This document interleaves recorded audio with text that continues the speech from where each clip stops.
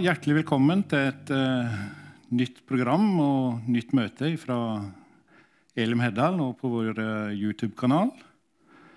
Uh, det var Salig blanding som åpna med sangen her, og de skal synge utover kvelden. Og vi har med Gudmund Jonsås, som skal ha en innledning for oss. Og vår forstander Sverre vil preke i kveld. Da er jeg så glad for muligheten å få sendt ut Guds ord på, på eh, kanalen her. Det er det at eh, Om det er litt sånn begrensninger i samfunnet, så har Gud ingen begrensninger. Han er allstedsværende med sin Hellige Ånd og sin kraft. Så og vi fyller deg og det du har behov for. Og um, bare være åpen om du ser det nå i kveld eller om du er en som ser det seinere på kanal, så er det Herren som taler til deg. Så bare vær åpen og ta imot. Da får vi en sang til av Salig blanding, og så uh, får vi høre litt ifra Gudmund.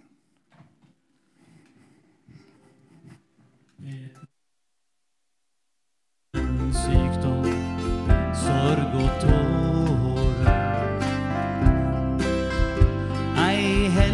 Heller søt og vold og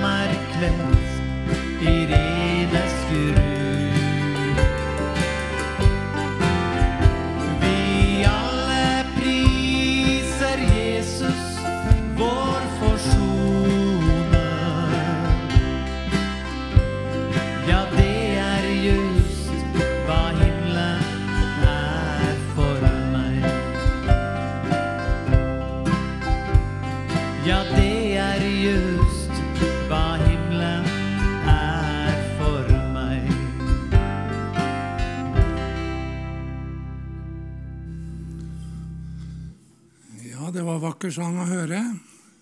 Vi kjenner det napper litt. Det er en himmellengsel. Jeg vil ønske dere Guds fred, alle sammen, dere som lytter til dette møtet. Jeg stansa ved noen ord i dag, men så leste jeg videre, og da kom det for meg et veldig aktuelt ord fra salmene. Og det er Salme 91. Og Den vil jeg få lov til å lese for dere.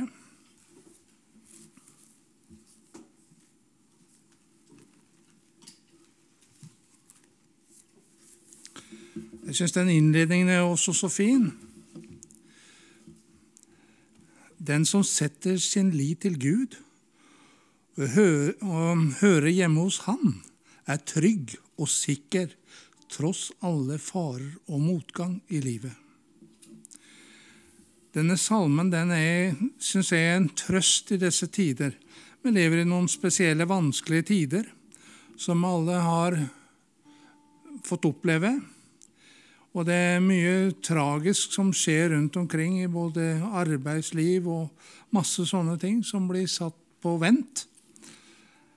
Og Derfor syns jeg det er en trøstesalme som, eh, som er veldig god å lese. Jeg leser den veldig ofte for meg sjøl og min familie. Og der står det sånn Den som sitter i den høyestes lys, og som bor i den allmektigste skygge.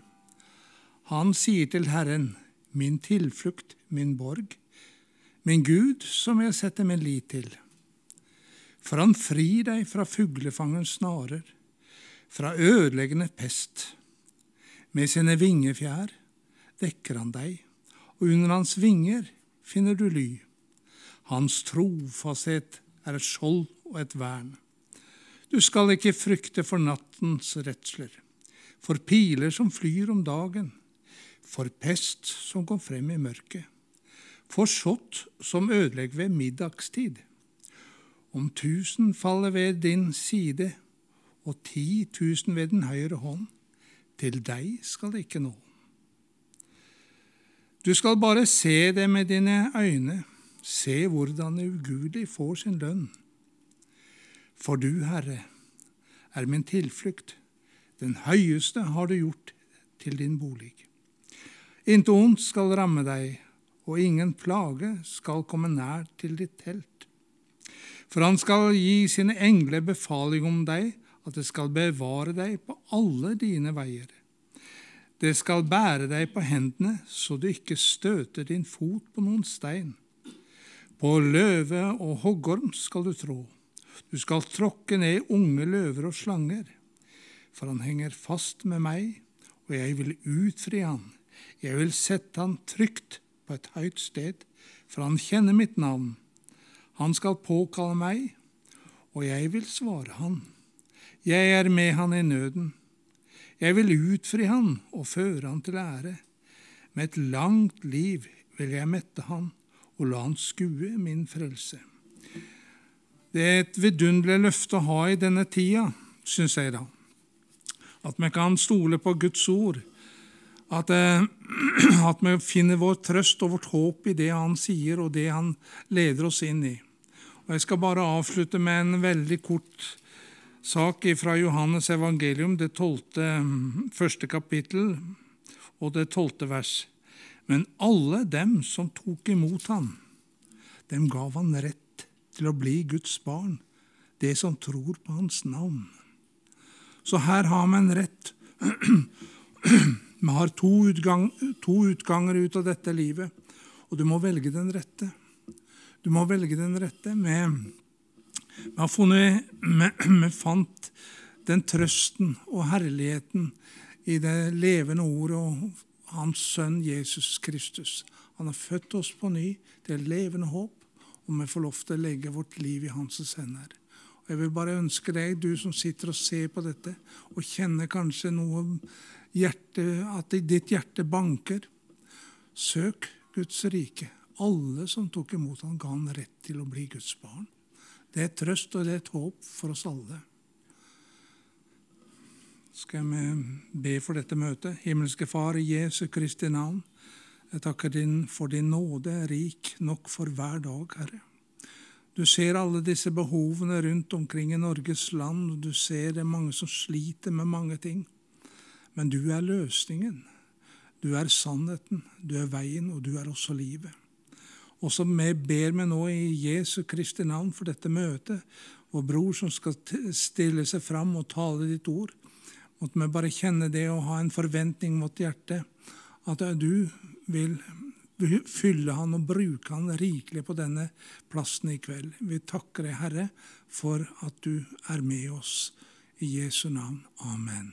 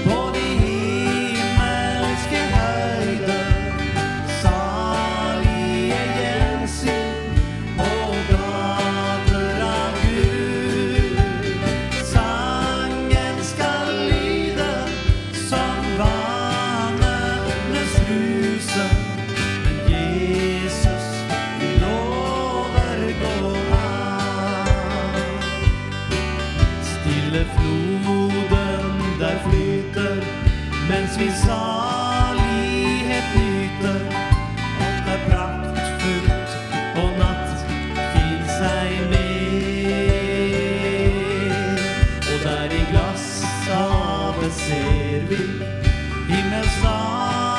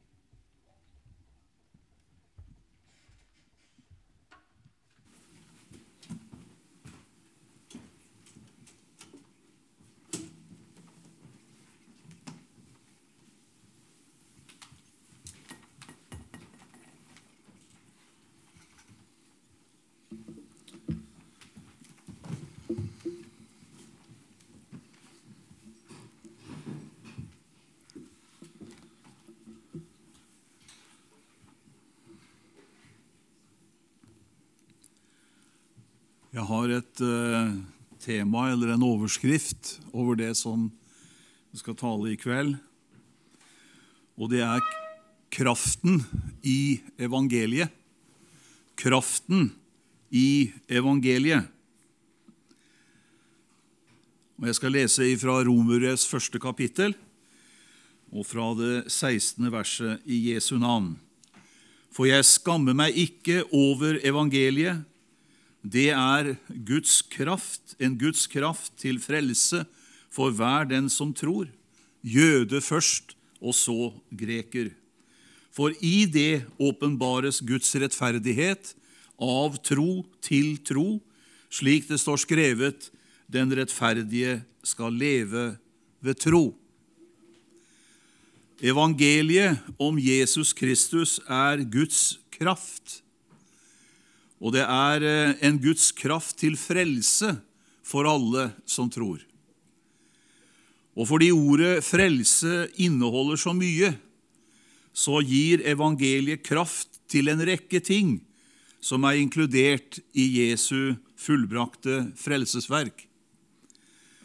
Evangeliet, det er ordet om korset. Både det korset Jesus ble spikret til for å forsone Gud og sone all verdens synd, men også det tomme korset for Jesus etter det fullbrakte frelsesverket, hvor han sto opp fra de døde ved Guds kraft og lever i dag. Og Dette evangeliet det er anstøtelig for religiøse mennesker og en dårskap for verslige mennesker. At Gud skulle la sin syndefrie sønn ta på seg alle menneskers synd og sone dem på korset, det er anstøtelig for alle religioner. Ser man på verdens rettspraksis, så blir Jesus stedfortredende soningsdød en dårskap. I en jordisk rett så kan ingen straffes og gjøre soning for andres forbrytelser. Hvis en uskyldig blir dømt i en juridisk eller en jordisk rett, så er det justismord.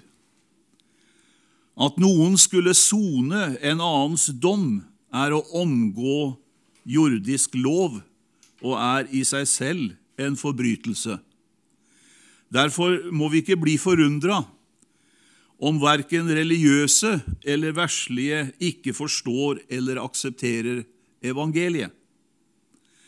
Paulus skammet seg ikke for evangeliet, og det gjør heller ikke jeg. Paulus han la vekt på å forkynne evangeliet enkelt og klart. Han sier i 1. Korinterbrev, det første og andre kapittel, ikke med talekunst og visdom, ikke med fremragende talekunst eller visdom. Og han sier ikke med overtalende argumenter og visdomslære. Han ville tale enkelt, så Kristi kors ikke skulle miste sin kraft. Han ville at bare Jesus Kristus og han, korsfestet, skulle være i sentrum.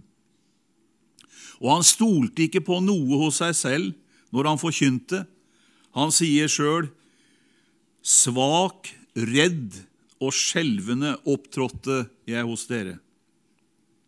Han var helt avhengig av Den hellige ånd og Den hellige ånds bevis.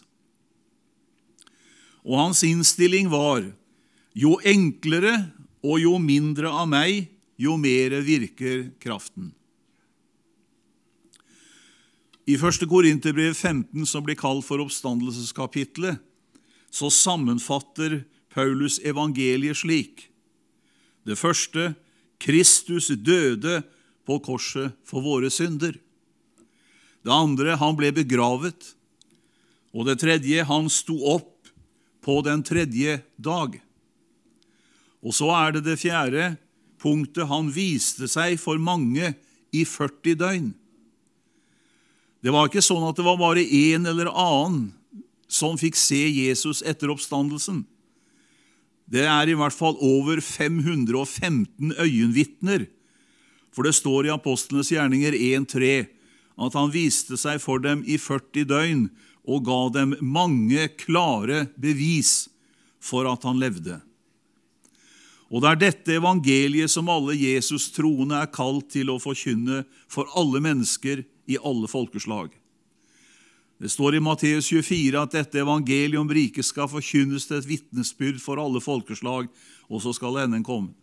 En av årsakene til at Jesus enda ikke har kommet igjen og hentet sin menighet, det er at evangeliet fortsatt skal forkynnes for alle folkeslag i verden. I Markus 16 står det til og med at vi skal forkynne evangeliet for hver skapning. Jeg kunne være frista til å si noe om det. eh, For jeg har en hund hjemme som er veldig åpen for eh, Guds ord og bønn. Men eh, hun behøver ikke å bli frelst. Men det gjør du som hører på budskapet nå. Og det er bare én ting som kan frelse, og det er evangeliet om Jesus Kristus. Og når vi går ut med åndens kraft og utrustning og forkynner evangeliet, da vil tegn følge oss. Og som det står i Markus 16, at Herren selv vil virke med og stadfeste forkynnelsen av evangeliet. Jeg liker det ordet 'stadfeste'. Det innebærer at eh, han lar det skje der og da. Det blir festet til stedet. Og Det er én ting å lese hva Jesus gjorde i evangeliene, og hva de første kristne fikk oppleve, men det er noe annet når det skjer her og nå, hvor vi bor. Da blir det stadfestet. Det blir festet til stedet. Og Vi har mange sånne stadfestelser som vi har opplevd her i menigheten, og vi skal få oppleve flere. Det første jeg vil si om kraften i evangeliet, det er kraften til frelse. Evangeliet er ikke Guds krav til frelse, men Guds kraft til frelse. Når du hører og tror evangeliet, da frigjøres frelseskraften. Og Det som skjer, det er at dine synder blir helt slettet ut. Det er ikke bare at du får en midlertidig eh, tilgivelse for din synd. Det er ikke sånn at du får en betinget dom. Nei, i apostelgjerningene 3,19 så sier Peter, «Vend om, så deres synder kan bli slettet ut. Og Det samme leser vi i Romerbrevet 4. Der står det at den som tror på Jesus, eh, da er syndekontoen tom, og isteden er Kristi rettferdighet blitt tilregnet oss. Og Det står så sterkt om det. Jeg leser for tiden Romerbrevet, som jo er det sterkeste lærebrevet i Bibelen. Og Romerbrevet 3 taler så tydelig om det og sier noe som er helt sjokkerende. Det står nemlig at Gud erklærer den ugudelige for rettferdig når han tror på Jesus Kristus. Du vil aldri finne det i noen religioner. Du finner det bare gjennom evangeliet. I Apostlenes gjerning i 26 så taler Paulus om det som skjer når man tar imot evangeliet om Jesus. Der står det at du får åpne øyne, så du vender om fra mørke til lys, ifra Satans makt og til Gud. Apostlenes gjerning i 26, 18. Og Det som skjer når vi tar imot evangeliet om Jesus og hans død på Golgata og hans oppstandelse, da blir du født på nytt. Du blir en ny skapning. Du blir ikke en forbedret utgave av den gamle, men du blir en helt ny skapning i Kristus. Det gamle er blitt borte, og alt er blitt nytt. Og så er det ikke bare at du får en frelse eh, som kanskje varer for en tid, men du får noe mer. Du får barnerett, du får barnekår, og du får arverett hos Gud. Og det med å få barnekår, det er noe permanent. Jeg er fortsatt barn av min far og min mor. Kommer til å være det så lenge jeg lever. Og når du har tatt imot Jesus, som det ble sitert fra Johannes 1,12, alle som tok imot ham, dem ga han rett til å bli Guds barn, så er det en rettighet som følger deg fra frelsestidspunktet og til du er hjemme i himmelen. I Romerbrevet 8 så står det er vi barn, så er vi også arvinger. Guds arvinger og Kristi medarvinger. Og det er faktisk sånn at fra Guds side så er frelsen ment å vare evig. Derfor så står det ikke bare at vi får liv når vi tar imot Jesus, men vi får evig liv. Og det innebærer et liv som aldri i evighet skal opphøre. Men det er også det liv som Gud har, og det har med den kvaliteten som det livet har. I Johannes 5, 24 så sier Jesus, Den som hører mitt ord og tror Han som har sendt meg, har evig liv og kommer ikke for dommen, men er gått over fra døden til livet. Det er jo også det som den lille Bibelen i Johannes 3, 16 sier, at Gud har elsket verden så høyt at han ga sin sønn den eneste, for at hver den som tror på han ikke skal fortapes, men ha evig liv. Tenk for en kontrast. Enten fortapes eller ha evig liv. Så evangeliet er kraften til frelse. Men evangeliet er også kraften til helbredelse. I profeten Jesaja, det fjerde og det femte kapittel, så leser vi om noe som ble oppfylt med Jesu død på Golgata. For der står det sannelig våre, og du kan gjerne si mine, sykdommer tok han på seg, og våre smerter bar han. Vi trodde han var blitt rammet, slått av Gud og plaget altså for sine egne synder og sykdommer. Det trodde jo de som var der på Jesu tid, at det var en dom over Jesus som person. Men profeten Jesaja sier, 'Men han ble såret for våre, eller dine og mine overtredelser, og knust for våre misgjerninger.' Straffen, og da er det snakk om vår straff, lå på ham for at vi skulle ha fred og ved hans sår har vi, eller om du vil, har jeg, kan du si, fått legedom. Det er evangeliet. Og det er ikke sånn at evangeliet om helbredelse er et sidespor, det er et hovedspor, for det er, det, det er inkludert i det Jesus gjorde på korset. Evangeliet, det er gode nyheter. Jesus taler om det i sin programtale i Lukas 4, og han sier, 'Herrens ånd er over meg, for han har salvet meg til å forkynne et godt budskap.' Og det er at eh, fattige skal eh, få bli rike, fanger skal bli fri, blinde skal få syn, undertrykte skal bli satt i frihet.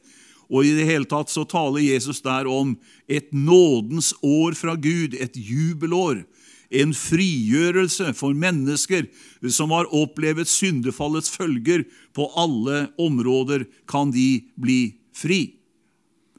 Og Jesus, han er, og han var, og blir den store legen. Det står så fint i Lukas evangeliet 6, en beskrivelse av Jesus som den store legen. De var kommet for å høre ham, og bli helbredet for sine sykdommer. De kom ikke bare til Jesus for å bli bedt for, de kom for å bli helbredet. Også de som var plaget av urene ånder, ble friske, og alle i mengden prøvde å få røre ved ham, for det gikk ut fra ham en kraft som helbredet noen, nei, som helbredet alle. Og Derfor er jeg så glad for dette verset i Hebrebrevet, det 13. kapittel, og vers 8. Jesus Kristus er i går, i dag og til evig tid den samme. Evangeliet helbreder. Du som hører evangeliet nå her, du kan bli helbredet gjennom det ordet som du hører, og som du tar imot, for det gjelder deg. Evangeliet helbreder. Kraften i Jesu navn helbreder. I Apostlenes gjerninger 3 så leser vi om en mann som var født lam. og Han var 40 år gammel, og han pleide å ligge ved den fagre porten og tigge. Og Så eh, ser han Peter og Johannes på vei til bønnens time i tempelet. Det var liksom midt på dagen. Det går an å be da òg. Klokka tre, klokken 15. En fin tid å be på det. Og det gjorde de, for det var bønnens time. Og denne mannen så på Peter og Johannes og håpet å få noe av dem. Og Peter sier til ham, sølv eller gull har jeg ikke, men det jeg har, det gir jeg deg. I Jesu Kristi navn, reis deg og gå. Og han tok han i hånden og reiste ham opp, og mannen ble momentant helbredet. Og folket ble ute av seg av undring. Og Legg merke til at Peter sier ikke det 'ja, vi har fått gaven til å helbrede'. Nei, han sier det er et navn som er årsak til at denne mannen er helbredet. Og det er navnet Jesus. Og det er den kraften som han får gjennom det navnet som har gjort denne mannen frisk. Det er også, for det tredje, evangeliet er en kraft til utfrielse. Jesus og disiplene fikk makt til å drive ut onde ånder og helbrede alle sykdommer og plager. Og i eh, Kolossebrevet, det andre kapittel, så står det at Jesus på korset avvæpnet maktene og myndighetene og stilte dem åpenlyste skue da han triumferte over dem på korset. Visst er djevelen en faktor. Det er noen som har sagt det sånn om ikke du tror at det finnes en Gud i verden, må du i hvert fall tro at det finnes en djevel. Men djevelen er beseiret. Det var derfor Jesus kom. Hebrebrevet sier i det tredje kapittel at han fikk del i kjøtt og blod, for ellers så kunne han jo ikke dø. Men ved sin død skulle han gjøre ende på ham som hadde dødens velde, djevelen, og befri alle som av frykt for døden var fanger hele sin levetid. I 1. Johannes brev 3,8 så står det at Jesus kom for å gjøre ende på djevelens gjerninger. Og det som er vidunderlig med Jesu blod, det er at det gir oss seier over djevelen og alle onde åndsmakter. Du kan lese i Bibelens siste bok, Åpenbaringen, det tolvte kapittel, om martyrene i den store trengsel. Det står om dem at det var ikke djevelen som seiret over dem eller Antikrist fordi de måtte dø for sin tro, men de seiret over ham, nemlig djevelen, i kraft av lammets blod og det ordet de vitnet om, og det ordet var evangeliet. Så martyrene i trengselen var ikke tapere, men vinnere. De var ikke sånne som djevelen hadde beseiret, men de var slike som hadde beseiret djevelen. Jeg er også veldig glad for å ha opplevd den delen av det som har med åndens dåp å gjøre. For evangeliet er en Guds kraft til å bli døpt i Den hellige ånd. Hva var det Peter talte om i Kornelius' eh, hus i Cesarea? Da han eh, forkynte evangeliet for første gang for hedningene. Jo, det står et utdrag av hans tale. Og Han talte til disse hedningene, og så sa han om ham, Jesus Kristus, vitner alle profetene og sier at alle som tror på ham, skal få tilgivelse for syndene ved hans navn. Og lenger kom ikke Peter i sin tale. Og det var heller ikke nødvendig å si mer, for det står mens Peter fremdeles talte, kom Den hellige ånd over alle som hørte ordet, alle som hørte evangeliet. Og det står i det 15. kapittel at ved troen så renset eh, Gud deres hjerter. Og så fikk de Den hellige ånd akkurat på samme måte som de 120 på pinsedag. De hadde ikke vært der i bønn på øvre salen eller på den salen de nå var, i ti dager. Det var det første kristne møtet de var på i sitt liv. De kom dit, og de var ikke frelst. Og de gikk derfra frelst og døpt i Den hellige ånd, og senere ble de også døpt i vann. Det forteller meg at vi får ikke Åndens dåp eller kraft eller fylde eller nådegavene fordi vi søker og ber og forbedrer oss. Vi får den på grunn av kraften i evangeliet. Og det er det evangeliet som vi hører og som tror, som åpner for Den hellige ånds dåp og kraft i vårt liv. I Galaterbrevet, det tredje kapittel, så har Paulus et oppgjør med galaterne, eh, som jo var veldig eh, opptatt med at det var deres gjerninger som skulle telle med. Og Da sier, da sier Paulus at eh, Han sier det sånn, uforstandige galatere, hvem har forhekset dere, dere som har fått Jesus Kristus malt for øynene som korsfestet? Svar meg nå på én ting, fikk dere ånden ved lovgjerninger eller ved å høre og tro? Så dermed så var det én ting som gjorde at de fikk Den hellige ånds dåp, og det var ved å høre evangeliet om den korsfestede. Vi går snart inn i påsken. For noen av oss er det påske hele året. Så om denne, det møtet her blir sendt ved en annen årstid, så skal du vite det er allikevel påskemuligheter for deg, og det er pinsemuligheter også hele året. Men Getsemane, der hvor Jesus kjempet den eh, største kamp som noen gang er kjempet for menneskehetens frelse, det navnet Getsemane betyr oljepresse. Og det var jo sånn at Den oljen som han brukte Eh, til å lyse opp, det var eh, olivenolje. Det var presset oliven eh, som var den oljen man brukte. Og Det som skjedde i Getsemane, det var at Guds oliven, Jesus Kristus, ble presset, og det var han som gjorde at oljen fløt på pinsedag. Jesu offer på Golgata, det var årsaken til at Guds ild falt på pinsedag. Den siste delen jeg vil nevne om kraften ved evangeliet, gleder jeg meg til å forkynne, nemlig kraften til å forvandles og bortrykkes ved Jesu gjenkomst. Det står i 1. Peters brev, det tredje, første kapittel og det tredje vers, at vi er gjenfødt til et levende håp ved Jesu Kristi oppstandelse fra de døde. Og Jeg er så glad for at billetten til himmelen det er Jesu Kristi blod. Det er mye underlig forkynnelse om endetiden og eschatologi. Og Blant annet så blir ofte denne lignelsen om de ti brudepiker misbrukt. Og så blir det for mange et spørsmål har jeg olje nok.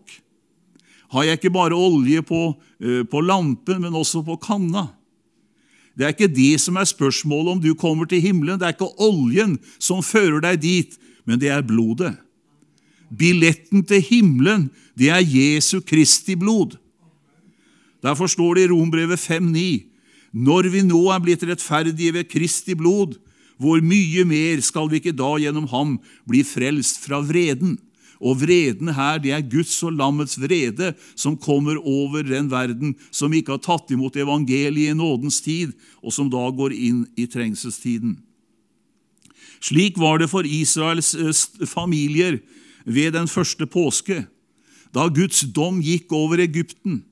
Da hadde Israels familier nytt påskelammet, og så hadde de tatt blodet fra lammet og strøket på dørstolpene og på det øverste dørtreet, og alle som var der inne, var trygge. De hadde en familiebillett som førte dem ut av Egypten, og som fridde dem ifra dommen. Og Jeg er også veldig glad for at Gud utsteder familiebilletter til himmelen. Derfor så sier han, 'Tro på den Herre Jesus, så skal du og alle dine bli frelst'. Og det er Jesu blod som er billetten.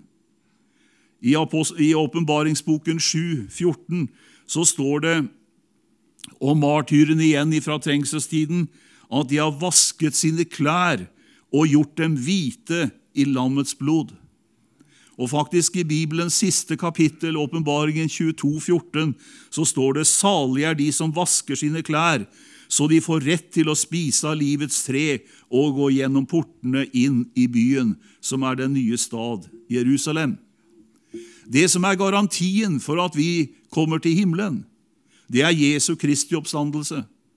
Akkurat som Jesus døde, ble begravet, men oppsto med et forvandlet legeme, så er det sånn at eh, både de som er døde i troen på Kristus, skal stå opp og få nye legemer når Jesus kommer ned for å hente sin menighet, og de som lever og ikke har gått veien om død og grav, eh, skal forvandles, og så skal vi sammen løftes hjem til himmelen. Og det er Jesus selv som kommer og henter sin menighet. Og han kommer ikke som en tyv om natten. Han kommer som den rettmessige brudgom som henter sin brud hjem til det vordende bryllup. Og Derfor er jeg veldig glad for et vers når det gjelder dette med om jeg er klar til å møte Jesus. Hva er det jeg har å holde meg til som gjør at jeg kan vite om Jesus skulle komme tilbake nå, så blir jeg med til himmelen? Det er ett ord for det nåde. Derfor står det i 1. Peter 1,13.: Sett din lit fullt og fast til den nåde som blir dere til del når Jesus kommer igjen.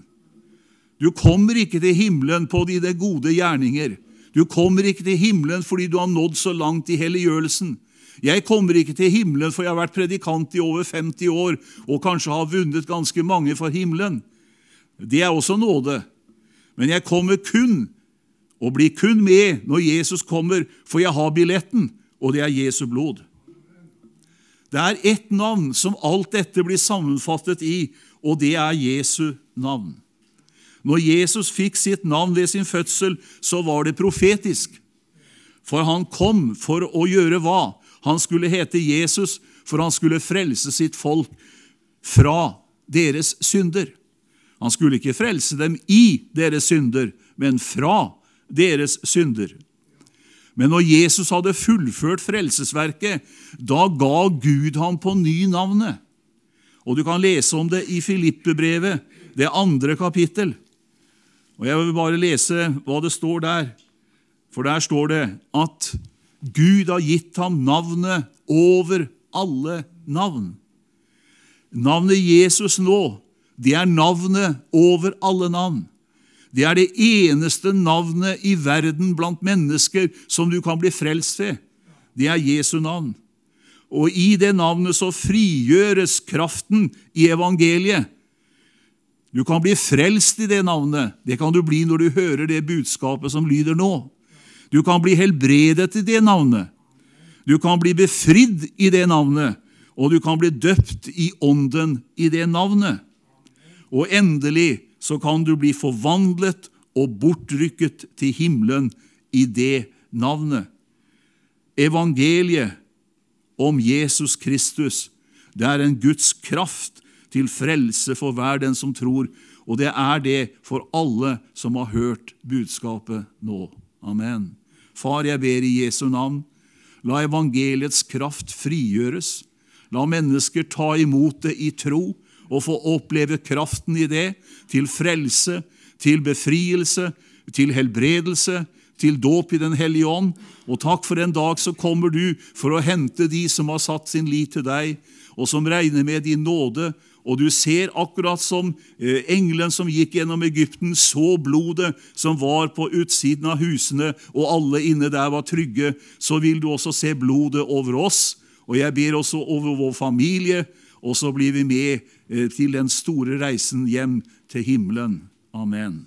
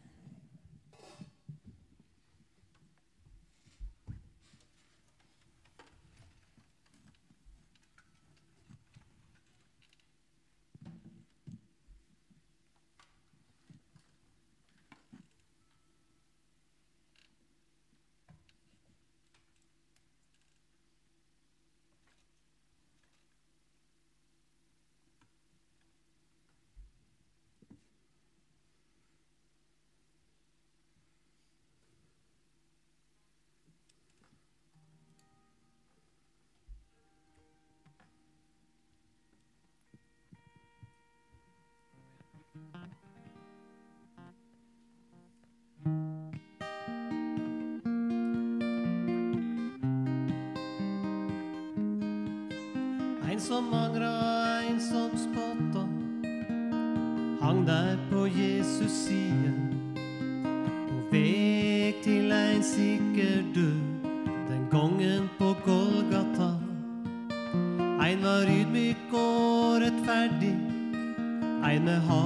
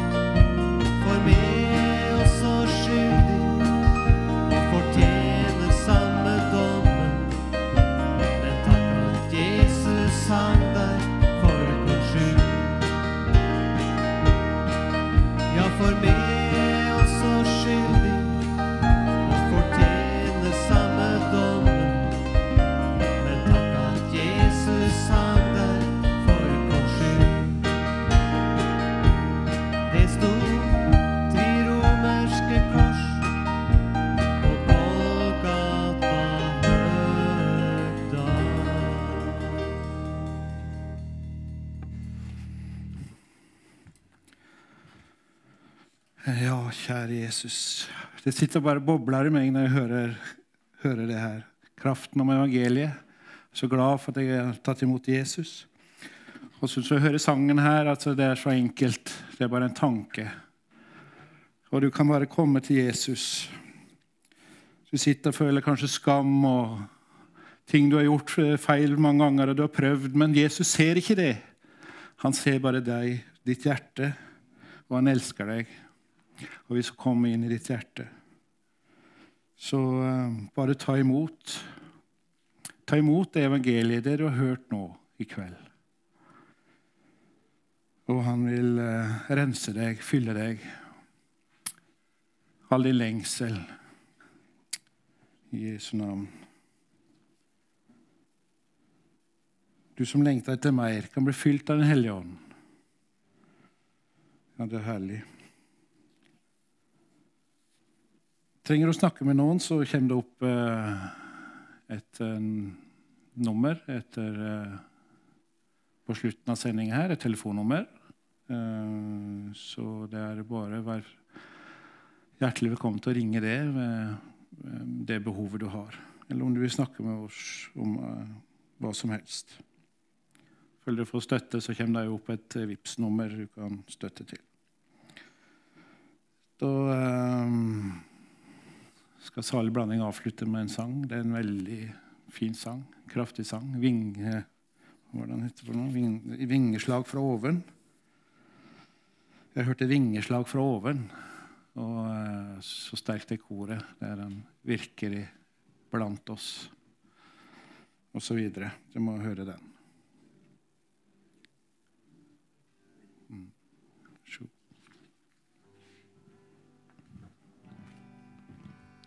Jeg hørte vingeslag ifra oven som senket seg ned.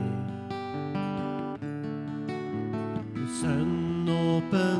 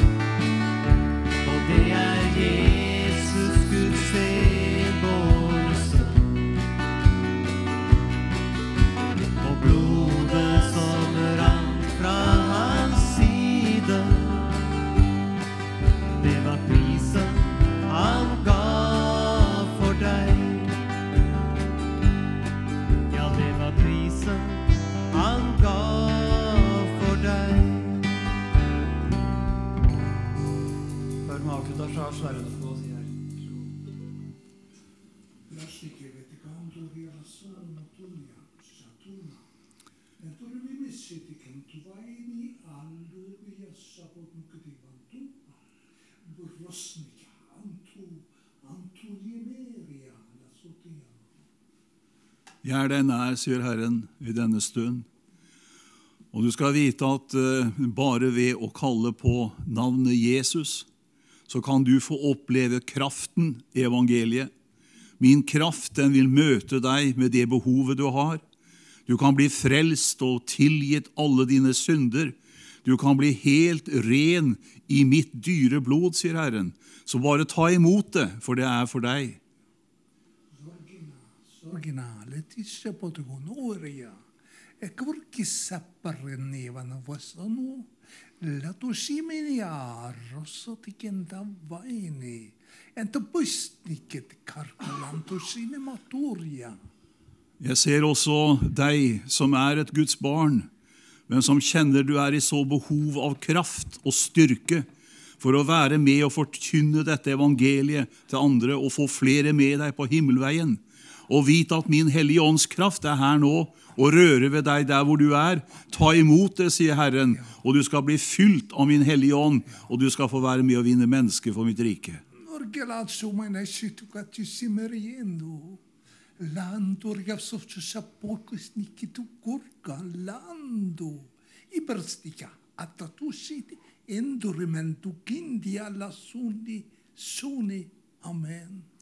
Det er ikke min vilje at du skal bli tilbake når jeg henter min menighet. Du skal få være med, og jeg har betalt reisen, sier Gud. Jeg har gjort alt ferdig. Du kan ta imot det av nåde, og du behøver ikke å frykte og være redd, men du kan være frimodig, og du kan løfte ditt hode, for det er en forløsningens dag som stunder til. Og du skal ikke reise alene, men du kan få din familie med, sier Herren. Amen. Amen. Kan dere synge det siste verset og koret en gang til? Som en Kristi velduft du vil bringe. Ja, det skjer når vi løfter våre vinger. Vi må våge å kaste oss utfor kanten. Oppleve Han som har